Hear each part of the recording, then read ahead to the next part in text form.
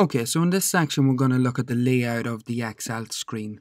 So Microsoft has in this version of Excel for Mac, they've really looked at how they can bridge the gap between Microsoft users and Mac users.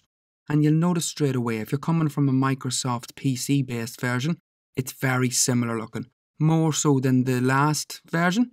So when we go out, you can see here, first of all, the first thing that strikes us is the quick access toolbar. They've placed it up at the very top here similar to the Microsoft version of it. And we have different things on it here like save and undo and redo. We have the usual traffic light buttons up at the top left hand corner here. So the red one will close it down for us. The yellow one will minimize it, put it down to beside our trash can. And the green one here will put it to full screen. When we put the full screen, we're going to lose this menu bar. So it's the Apple menu bar at the very top. So the Apple menu bar changes depending what we're doing. So if I was to click into my maps, you'll see the menu bar will change to maps. If I click back into my Excel, it will change to Excel. So it's a contextual menu bar that changes depending on the application that you're working with. So the quickest way to get it is just click into the application anywhere on it and it'll make sure. If I click to my desktop, you can just see down at the very bottom left hand corner, you can just see an area of my desktop. If I click on it, you'll notice my menu bar changes to a Finder menu bar. Finder is my desktop environment or my computer environment. Clicking back on Excel puts the menu bar back to an Excel menu bar. So it's a quick change for you. So if we put it to full screen mode, you'll see we lose that menu bar and it just puts Excel to full screen. If we want to get back to normal screen, we just hover across up at the top there and it takes it back down for us and clicking on that green button will take it back for us.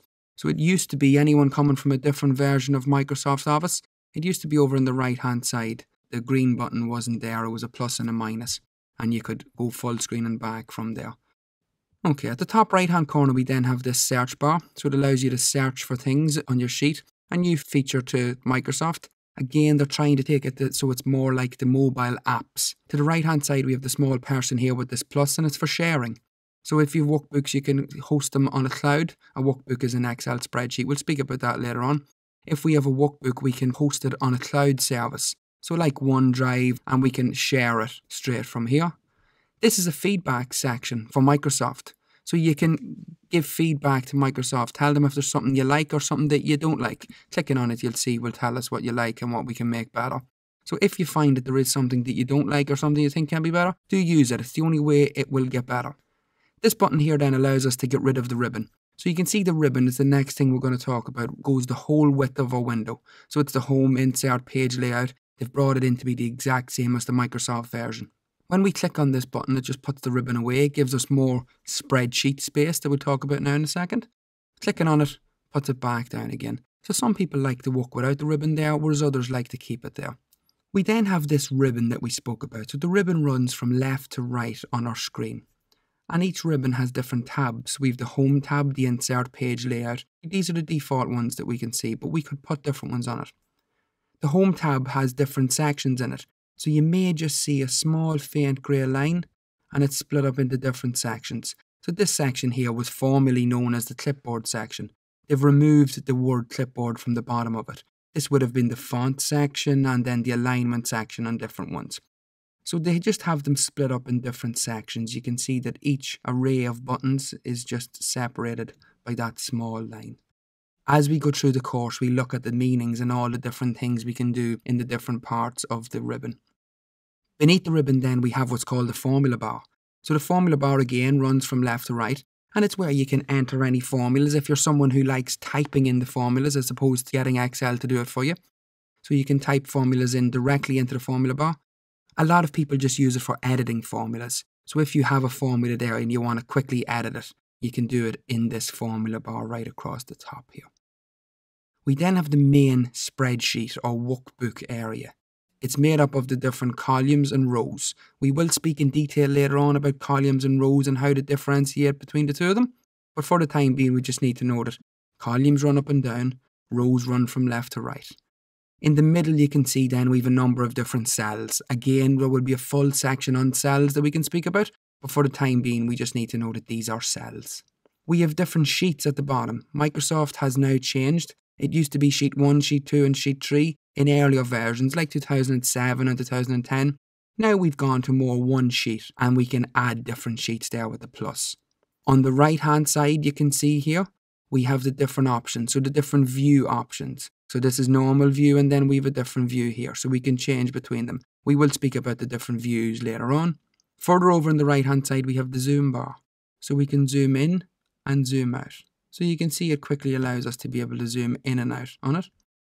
Or we can click on it and we can type in a figure and we can go to 100% or whatever we wanted to do. You'll notice that a scroll bar isn't really present. I'm using a MacBook Pro Retina for this, so I can scroll using my trackpad. If you're using a mouse, you can also scroll with the mouse, or you can drag these. And you can see when we are not using it, the scroll bar goes away. If I hover my mouse back over to it, it comes back for me. So when I need it, it's there. The very bottom row, we have a status bar. So the status bar is going to show us different things, like if we have numbers in there. So if I just type in a couple of numbers, and if I select them, the status bar will show us what's going on. So it's an average of 45. I have the two numbers in as 45. The count is 2. There's two numbers there. And the sum of the numbers is 90. So this is a quick way to be able to see if you have a couple of numbers. I change the numbers that I have in. So you can see now it will be when I select them. You see the average is 1429.75, the count is 4, and then the sum it adds them up. So it's a quick way if you want to just know what it is for yourself, you can select them and it shows you down there. So that's known as the status bar. So a couple of the main areas we have on the screen. At the very top we have the menu bar. Always here, runs across the very top. Then we have the ribbon, which runs across the whole width of the page. The toolbar, or the quick access toolbar by its full name, is here. The formula bar runs across the middle of the screen. And then we have the main spreadsheet area. And at the bottom, we then have the status bar. The only other area we have is this workbook area. You can see here at the minute it says workbook 1. That's the name, so it's our title bar.